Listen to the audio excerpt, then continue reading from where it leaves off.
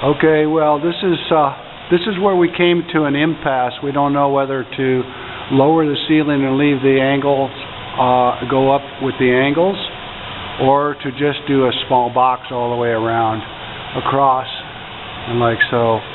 Um, I don't know what we're gonna do exactly yet, but, uh, here's the first start of the drop ceiling in the auditorium. And, uh, it should make uh, quite a big de- deal deal of a difference. It'll look more like uh, less uh, industrial, as I as it's been pointed out. So um, at the school auditorium, drop ceiling. Uh, whether to do the corner ends like they are up there or not.